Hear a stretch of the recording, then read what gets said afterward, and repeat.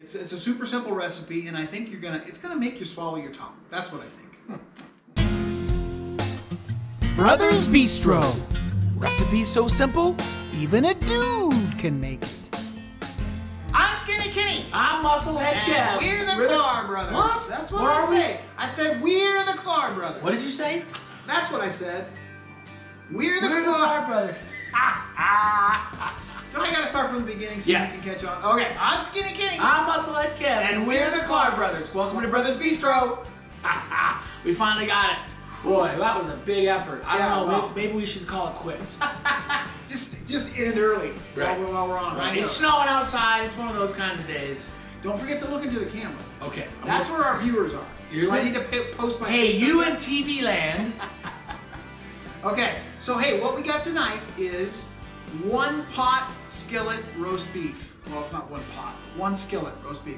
But it's gonna. This one's a little complicated. It doesn't have a lot of ingredients, but you're gonna see there's a little complication going in and out of the oven. We, we haven't decided. We might use the grill. My brother likes to use the grill. A little overwhelming or underwhelming? Yeah, overwhelming. under- underwhelming. Underwhelming. Look at not very. In fact, we decided to show you the unvarnished version of what it looks like when we come back from the grocery store for something Yeah. like this. So the recipe called for a few of these items uh, that we were going to slice and dice and all that, but as you know, we don't do a lot of slicing and dicing if we can help it. So we picked a few bagged up things. Some of them uh, were fresh, and some were frozen, and we're going to show you what those are. Yeah, So we just let the mood hit us when we're in the grocery store. let's So, walk through what we We started with the red, green, and yellow peppers. I think the recipe calls for red and green separately, that you would buy a bell pepper, red bell pepper, and a green pepper, and you would slice them up. These are frozen, so we're kind of letting them thaw out before we get going. Uh, we got a couple of bags, so we're estimating the uh, the contents that we need. And then we got my bro's favorite. I actually have it all wrapped up like a Christmas package because it's about the same cost. Wait a second. He did this all wrong. He went over to the butcher. If you go to the butcher, you're going to pay a premium. This is prime tenderloin, so we only get tenderloin. And the butcher gave it to us 30 bucks a pound. No, 30 Yeah, bucks a- yeah. Yeah, 30 bucks a holy cow. This is going to be quite the dinner. Yeah, 30 bucks so a we, we broke the bank on the beef, that, but that's the main dish. That's the main dish. So we didn't want to spare any expense there. And then we got our kind of our kitchen salt and pepper. This is, you know, you got you have con- fancy containers like this in your house, I'm sure too. So and then we got some green onions. And then we they called for some mushrooms that we were going to slice up, but we got the pre-sliced version. Yeah, we're It's all ready feeling to go. particularly lazy. And then we didn't even know what watercress was, but the Turns guy it's a green vegetable, buddy. It looks Yeah. like cilantro. he pointed us to it, and so we're gonna be chopping that up and dicing it up too. Yeah. Little known facts about beef. Well, my brother loves his beef, and that's what we're having Hey, tonight. we discovered something. There's a reason for Wait, you let to me have, cut you off. There's a reason for you to have beef. There is. There's, Every night. There's three reasons actually. Really? Yeah. First is it helps you maintain muscle mass. I like In fact, with this big this big push with Ozempic and this weight loss drug, right? Right. What they say is you gotta you gotta maintain your muscle mass. One of the ways you do that is You eat more beef. You know? Yeah, yeah. You gotta eat more protein. You gotta ingest more protein. More protein. And beef Right. is an excellent source of protein, right? Yeah, so what do they say? They say it's one gram per pound, right? So if you're a 200 pound guy, 200 grams of protein a day is what they what you should be shooting for. And so if you're on some of these calorie restrictive diets, you just got to be mindful that if you don't have enough protein, your body is going to pull it from the lean muscle mass, and that's what you don't want to lose. Yeah. You to lose With healthy healthy weight loss, you're losing about two thirds fat or body fat and two thir- and one third muscle mass. Lean right? muscle mass. So you are going to shed some, no matter what you're doing. If you're losing, if you're losing uh, um, weight. Right. Yeah. Yeah. Second, second thing, reason why is it's an excellent source of vitamins and minerals. What kind of vitamins and minerals Well, does let it me tell you, it's that got- looks like it's got a lot of vitamins. It's in it. got B12, zinc, wow. selenium. I don't know how you spell Selenium? Selenium, iron, niacin, and B6. Wow. Okay. So it's got the whole plethora. Right. And the final thing is it's super easy uh, form of protein for your body to Dense, dense, dense, Dense. dense. That's right, that's right. You like your head? Like your. I can be a little dense. Yeah. So don't it's me. I beef. resemble my brother. So beef. It's what's for dinner. it is. Yes, please. Scallions come in these, these, you know, they have them banded together or whatever in the grocery store, right? And the roots is the first part you want to kind of cut off. And then you want to remove any of this excess here. What are you doing? You gonna cut? cut Okay. Okay, so, So- tell me what to do. So, well, you're gonna even them all up like that. Try and get them even, and you're gonna cut off the roots. And now the white part, right up to the joint, is kind of the stiff part of the scallion, and it's a little more flavorful, and often is used in the dish itself. The the little bit more flexible part, the top, is also flavorful, but not quite as flavorful as the bottom, and it's often used as a garnish. Wow, that meat looks good. Yeah, the meat looks really good, and we've gotten all the ingredients out in little ramekins so you can kind of see what this thing looks like before we've assembled it. Now we're gonna take this meat and we're gonna season it with salt and pepper, half of the salt and pepper that the recipe calls for.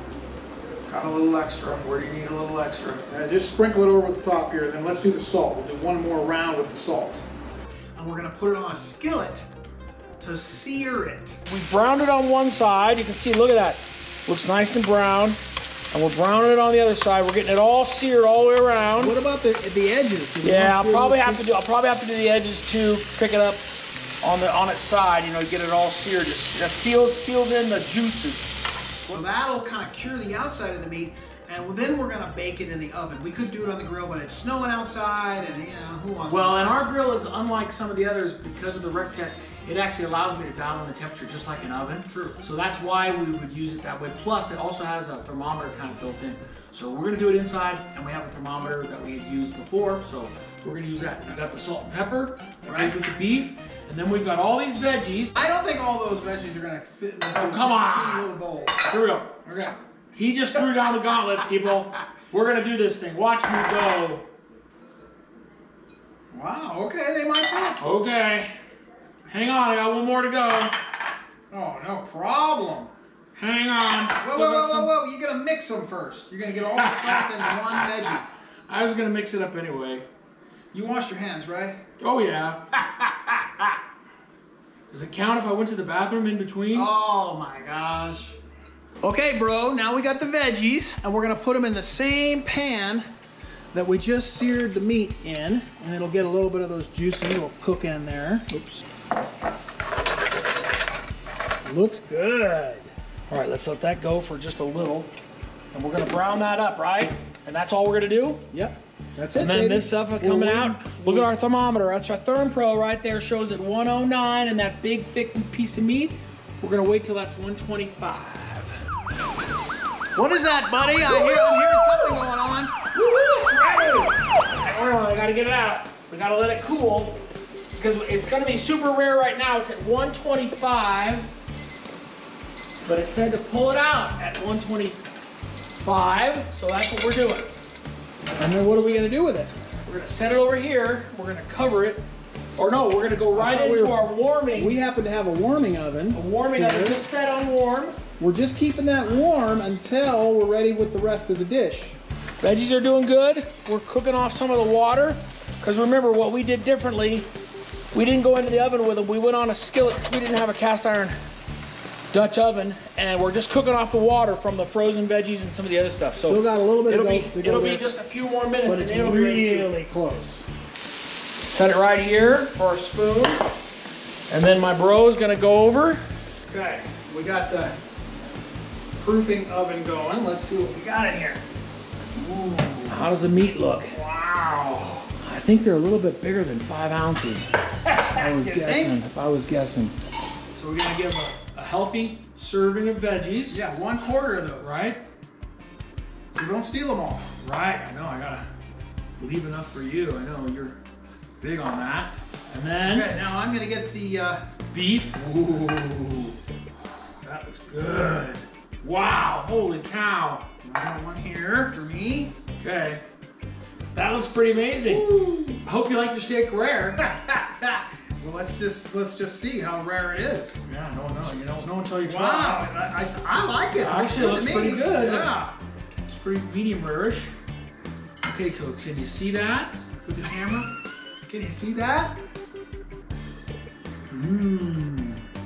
Well, I gotta say, the butcher didn't turn us wrong. That's that's like butter. that melts in your mouth Okay, so you gotta try this out at home. Pretty simple. for sure. The only complication was in and out of the oven. But other than that, super easy. Hardly any ingredients. Uh, you know, we spent a little extra by going to the butcher, but you could pick up something out of that butcher section and don't have to spend as much as we spent. The manager's special.